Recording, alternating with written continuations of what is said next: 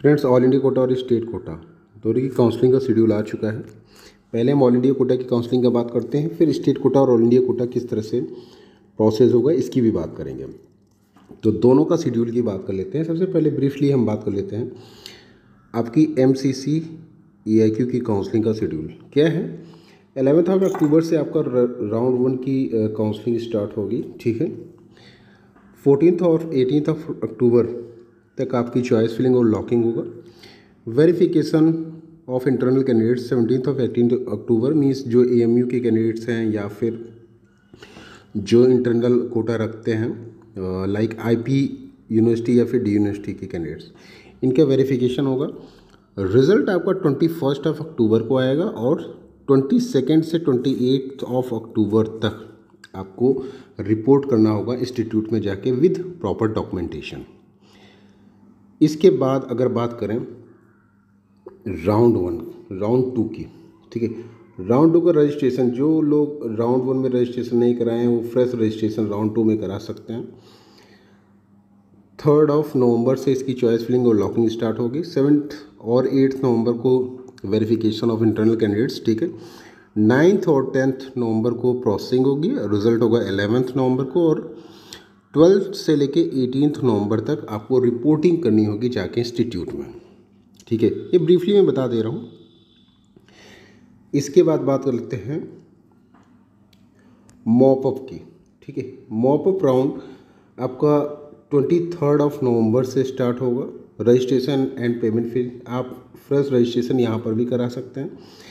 Payment facility उसके बाद choice filling आपका ट्वेंटी फोर्थ ऑफ़ नवंबर से ट्वेंटी नाइन्थ ऑफ़ नवंबर तक।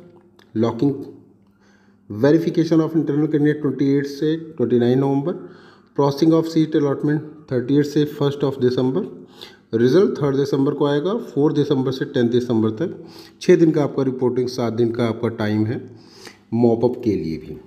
तो मॉपअप तक means round one round two और मॉपअप इन तीनों राउंड में आप फ्रेश रजिस्ट्रेशन करा सकते हैं मीन्स आपने राउंड वन नहीं कराया तो राउंड टू में करा लीजिए राउंड टू में नहीं कराया तो मॉपअप में करा लीजिए।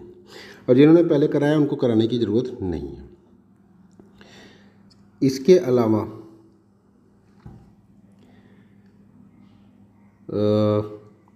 स्ट्रे काउंसलिंग स्ट्रे काउंसलिंग में यहाँ पे पूरा इंस्ट्रक्शन दिया हुआ नया रजिस्ट्रेशन नहीं होगा फ्रेश चॉइस फिलिंग नहीं होगी फ्रेश चॉइस फीलिंग, ठीक है? ये पुराना ही रूल है, ठीक है?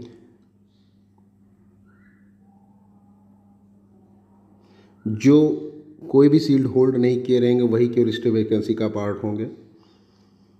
सॉफ्टवेयर से, ऑनलाइन सॉफ्टवेयर से मतलब ये तो कॉमन प्रोसेस है इसका। Processing of seat allotment twelfth of December से थर्टीथ ऑफ़ दिसंबर तक रिज़ल्ट फोर्टीन दिसंबर से फिफ्टींथ दिसंबर से ट्वेंटी दिसंबर तक आपका रिपोर्टिंग ठीक है?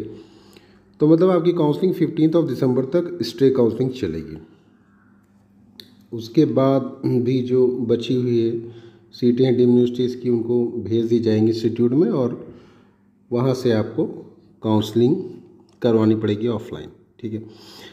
तो ये रही बात आपकी ऑल इंडिया कोटा की। अभी state quota all India quota की काउंसलिंग कैसे आई?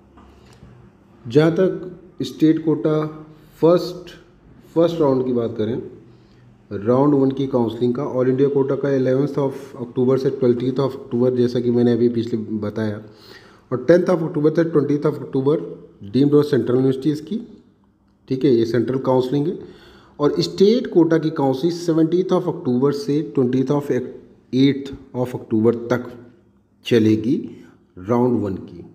लास्ट डेट ऑफ़ ज्वाइनिंग है ऑल इंडिया कोटा का ट्वेंटी अक्टूबर डीम्ड और सेंट्रल का ट्वेंटी अक्टूबर और फोर्थ नवंबर तक आप राउंड वन स्टेट कोटा में आपको ज्वाइनिंग कर लेनी है।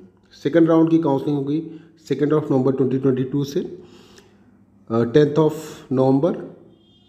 इसी तरह से स्टेट कोटा की काउंसलिंग देखा जाए सेवन्थ ऑफ़ नवंबर से मीन्स ऑल इंडिया कोटा की काउंसलिंग के चार पाँच दिन बाद ही आपका स्टेट कोटा हो रहा है, जो कि काफ़ी अच्छा है, कम से कम बच्चों को स्टेट कोटा और ऑल इंडिया कोटा में स्विचिंग में प्रॉब्लम नहीं होगी। इसके अलावा last date of joining eighteen of November और ट्वेंटी फ़र्स्ट ऑफ़ नवंबर आपका state quota. Mop up round twenty third of November से स्टार्ट होगा फ़र्स्ट ऑफ़ दिसंबर तक। और हमारा स्टेट कोटा स्टार्ट हुआ सिक्स ऑफ़ दिसंबर से ट्वेल्थ ऑफ़ दिसंबर मीन्स काफ़ी टाइम होगा, यहाँ से दस से बारह दिन का टाइम होगा। ठीक है? लास्ट डेट ऑफ़ जॉइनिंग है tenth of December all India quota और sixteen of December state quota, ठीक है? इसके अलावा state vacancy round twelfth of December से fourteen of December, twelfth of December से फोर्टीन ऑफ़ दिसंबर। यहाँ पे अगर सीटें बचती हैं तो देखा जाएगा। डीम्ड यूनिवर्सिटीज़ की जो सीटें होंगी वो फॉरवर्ड कर दी जाएँगी। फोर्टीन ऑफ़ दिसंबर तक इनकी काउंसलिंग कंप्लीट हो जानी चाहिए। मीन्स ट्वेंटी ऑफ़ दिसंबर तक फुल एंड फाइनल काउंसलिंग आपकी, चाहे वो डीम्ड हो या सेंट्रल की हो, कंप्लीट हो जानी चाहिए। ट्वेंटी ऑफ़ दिसंबर तक आपको स्टेट कोटा भी कंप्लीट करना है।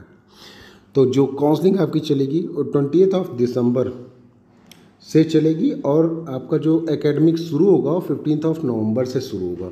मीन्स काफ़ी पहले ये लोग एकेडमिक कर रहे हैं। तो काफ़ी अच्छी बात है, कम से कम जनवरी फरवरी में नहीं जा रहा है। एकेडमिक कैसे शुरू होगा ये बात है, देखनी पड़ेगी, किस तरह से सेशन को मैनेजमेंट करते हैं। तो कहने का मतलब है जो आपकी ऑल इंडिया कोटा की काउंसलिंग स्टार्ट होगी, वो होगी एलेवंथ ऑफ़ अक्टूबर से, ठीक है, ये जाएगी ट्वेंटियथ ऑफ़ दिसंबर तक, ठीक है। और स्टेट कोटा की जो काउंसलिंग स्टार्ट होगी, वो होगी सेवनटीन ऑफ़ दिस अक्टूबर से, ठीक है। ये जाएगी आपके ट्वेंटी ऑफ़ दिसंबर तक। Means twentieth of December is the last date for whole counselling process whether it is state quota और इंडिया कोटा। और आपका जो एम बी बी एस की क्लासेज स्टार्ट हो जाएँगे, वो पंद्रह नवंबर से ही स्टार्ट हो जाएँगी। मीन्स काउंसलिंग चलती रहेगी और क्लासेज भी चलती रहेंगी। ठीक है? तो ये एक अच्छी बात है, कम से कम थोड़ा सा एकेडमिक आपका दुरुस्त हो जाएगा। That's all